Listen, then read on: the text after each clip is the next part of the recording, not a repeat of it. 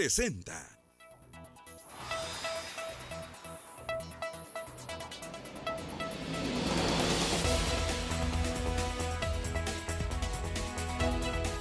Gracias por acompañarnos. Buenos días, bienvenidos a BLM Noticias. Es un gusto saludar y arrancar este martes con toda la información, como cada día, con los temas relevantes para compartir las cosas que pasan en Guatemala y el mundo en este 20 de agosto del año 2016. Ricardo, qué gusto tenerte de vuelta. Te, te extrañamos, pero bueno.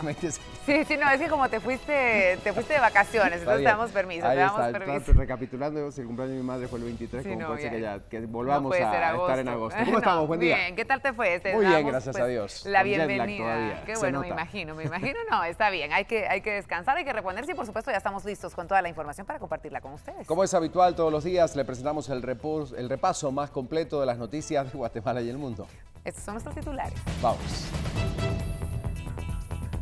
Nosotros hemos entregado todos los expedientes que nos han solicitado, toda la documentación así que ha sido requerida por ellos ha sido entregado. Nosotros solicitamos la- a la Contraloría General de Cuentas que ellos hicieran la fiscalización de todo. Registrador de la propiedad señala que ha entregado al Ministerio Público la documentación sobre el caso de familiares del presidente Jimmy Morales. Pero si no estoy defendiendo ni a mi hijo, ni a mi hermano, porque confío en las leyes y en las instituciones y en los debidos procesos, creo que está claro para ustedes, funcionarios públicos, que a ninguno voy a... Presidente Jimmy Morales habla sobre la situación legal de su hermano y su hijo, esto durante un acto oficial. el señor Jimmy Morales como padre eh, del señor José Manuel eh, Morales le patrocinó, le está patrocinando un abogado para que le acompañe en todo el proceso de declaraciones eh, y de participación. Mientras tanto, el vocero presidencial asegura que el Ejecutivo no atraviesa por ninguna crisis política. Defensa de Otto Pérez Molina logra que juez de extinción de dominio no conozca casos de extinción de bienes del exmandatario. Esta es la primera situación para determinar el proyecto de presupuesto 2017 y ya llama la atención estos temas, las asignaciones a desarrollo social, a comunicaciones, a las ONGs, eh, son de los temas que salieron hoy, especialmente comunicaciones. Y es que diputados de la UNE discuten primera propuesta del mm, presupuesto para el próximo año que fue presentada por el Ministerio de Finanzas. Noticias del Mundo, 193 estados de la ONU se reunieron y prometieron mejorar la suerte de millones de refugiados a nivel mundial. En otras noticias, autoridades de Estados Unidos detienen a un hombre responsable de las explosiones en Nueva York y New Jersey. En noticias del deporte nacional destaca que Carlos Ruiz no debutó el fin de semana con su equipo, el FC Dallas. Sin embargo, ya está con ellos. Octavo de final de la Copa Mundial de Futsala que se disputa en Colombia. Vamos a contarle algunos detalles que usted querrá conocer. En noticias del mundo del espectáculo no son muy buenas para Jim Carrey y es que aparentemente está enfrentando una demanda por la muerte de su exnovia. Le contamos los detalles.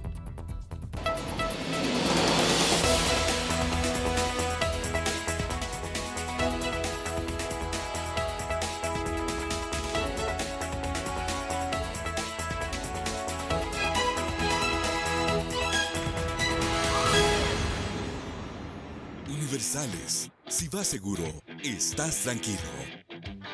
5 con 48 minutos, así empieza la mañana. Estos son los títulos más relevantes y así tenemos, por supuesto, la posibilidad de compartir con ustedes un despertar que tiene que ver con el clima y lo que está pasando en las principales calles de nuestra ciudad capital. Vamos a ir repasando poco a poco lo que pasa en Guatemala. Y es que tenemos que conocer justamente esas condiciones. Independientemente de donde usted se encuentra, tenemos informe climático para usted. Vamos contigo, Lorraine. 5 de la mañana con 48 minutos. Muy buenos días, Guatemala. Estamos iniciando la jornada, iniciando el día conociendo lo más importante con respecto a las temperaturas. Actualmente tenemos una de 17 grados centígrados. Los primeros rayos de sol empezaban a salir a partir de las 5 de la mañana con 43 minutos. El sol se estaría ocultando hoy a las 6 de la tarde en punto. Las posibilidades de lluvia nuevamente se mantienen con un 80% para el resto de la jornada.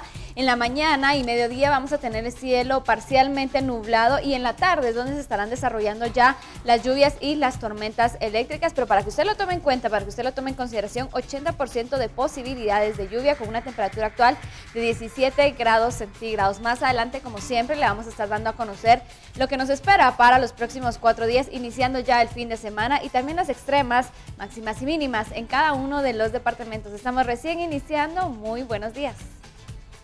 Gracias, Lorraine. Es parte de la información que tenemos a esta hora del día, por supuesto. Y vamos a empezar analizando algunos temas importantes para esta mañana. Desde luego, y para ello saludamos al resto del equipo de Viva la Mañana que está listo para comentarnos, por supuesto, diferentes temas. Chicos, buen día, bienvenidos. Ricardo, Muy buenos bienvenido. días. Bienvenido, día, ¿Cómo les va? Muy bien, gracias. Voy a caminar de frente, no de costado. ¿Cómo están? Pero eso Ahí está. significa que se la disfrutó. Eso es una Sí. buena Ella- eso es i- algo iba con una positivo. promesa, el All You Can Eat, ¿verdad? Y se ha cumplido. Eh, así es la vida, hay que gozarla. A la hora de viajar hay que, hay se que cumplió. ¿Cómo Sí. están? Buen día, ¿cómo amanecieron? Muy Bien, bien, bien, muy Bien, todo en orden. Todo Bueno, en orden. varios temas importantes. Comenzamos hablando del plano internacional. Crista. Sin duda alguna empezamos hablando de lo que sucede en Siria y esta noticia que, bueno, impactaba nuevamente al mundo entero porque la eh, tregua que habían ellos acordado hace una semana precisamente, pues eh, desistía entonces de este acuerdo. Las Fuerzas Armadas precisamente anunciaron ayer el fin de esta tregua que fue decretada el 12 de septiembre por siete días y que pues acusaban a los grupos rebeldes por no haber respetado esta tregua y no haber hecho todo lo posible porque era una muy buena oportunidad para poder terminar con el baño de sangre con muchas familias que han perdido a seres queridos, pero sobre todo también los grupos armados que incumplían este acuerdo. También tiene mucho que ver con la reunión y con la asamblea que se estaba llevando a cabo en Estados Unidos, precisamente en Nueva York. Por supuesto, tenemos el recorrido completo de los detalles en la información internacional, pero esta sin duda es la noticia más importante del día. Bueno, un tema impactante que vamos a analizar, por supuesto. Gracias, Crista. Esto forma parte del panorama internacional, pero hay varias noticias también. Desde luego tenemos noticias deportivas, por ejemplo, que platicar con todos ustedes, lo que está sucediendo en la Fórmula 1, por ejemplo, Pedro, que siempre da noticia. Así es, en la Fórmula 1, bueno, pues malas noticias. eh, Michael Schumacher sí ya revelaron el verdadero estado de salud de este gran piloto en aquellos años, bueno, y que debido a un accidente que tuvo en los Alpes eh, franceses mientras esquiaba, tuvo un fuerte golpe en la cabeza, entonces estuvo por seis meses de- con un coma induci- inducido, perdón. Y bueno, un medio decía de que podía mantenerse de pie, también decían que podía tener ya movilidad de sus manos, pero no, es totalmente falso. Ya uno de sus abogados pues dio ya su- sus declaraciones y no, Michael Schumacher pues todavía sigue, eh, sigue en cama, eh, su estado de salud pues eh, ni siquiera se puede poner de pie, entonces pues es una de las noticias pues lamentables para la Fórmula 1 y bueno pues hay que, hay que seguir adelante y se ha perdido entonces pues una gran figura para la escudería Ferrari. Vamos a hablar de este tema en el plano deportivo, pero ahora vamos al tema del día, tema central de esta mañana de martes, María René, y tiene que ver con un posible impuesto. Exactamente, el Congreso, bueno, ya en los últimos meses que quedan del 2016 llegan con nuevas iniciativas y una de ellas es aumentar el impuesto a las bebidas alcohólicas. Es lo que está proponiendo el diputado Álvaro Velázquez, porque dice él ya es hora, uno, dicen, de incrementar el impuesto a las bebidas alcohólicas. ¿Por qué? Bueno, uno, porque realmente dicen va a ayudar a llegar a esa recaudación tributaria que necesita el país.